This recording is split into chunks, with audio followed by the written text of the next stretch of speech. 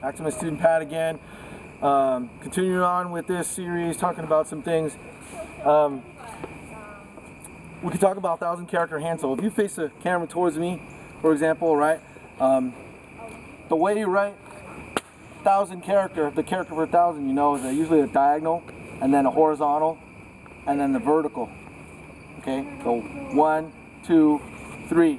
Okay, so usually when you're looking at that, there's the diagonal when you see people doing this. Okay, this is the horizontal, you know, when you see people doing this. And then this is the vertical.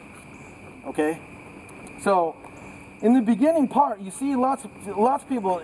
By the way, the diagonal views offense or defense. You know, some guys, you know, they punch first, you know, and they're using this right here like this, and then they're waiting for this one, and then they're gonna go like this, and then they usually follow up with this. Okay, so he knows already. okay.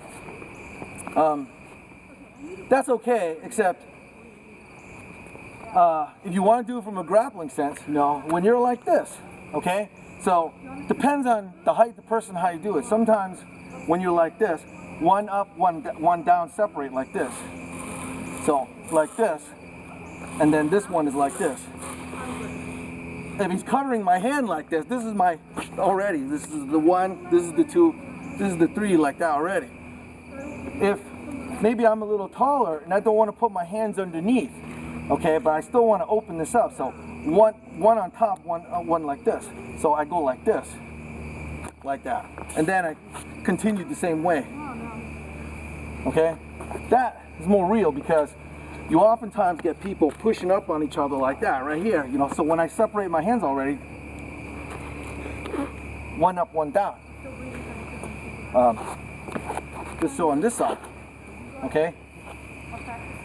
Um, the cutting the cutting motion you know what i mean so when when i'm doing doing like this right here the reason i don't like that that's really dangerous to send this one in you know and some families you know that it's old school to do this. Let's say he does a right kick you know.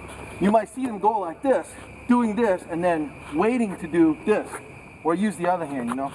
They might do this and then use the other hand and go like that. That that's really risky to do that you know. It would be better served um, well, I could just do the other side, you know, so. If I went down on this hand like this, I'm keeping this hand on the outside. So now when he's using this hand, I just, it's easier to react to it like this.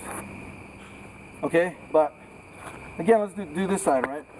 See, that hand is away from me, right? So if he's just doing the jab, you know, he's doing the jab. So when, when I go like this, that hand is right there, you know? like that.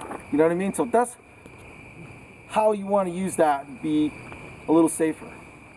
Okay? So diagonal, horizontal, the double hanging fist.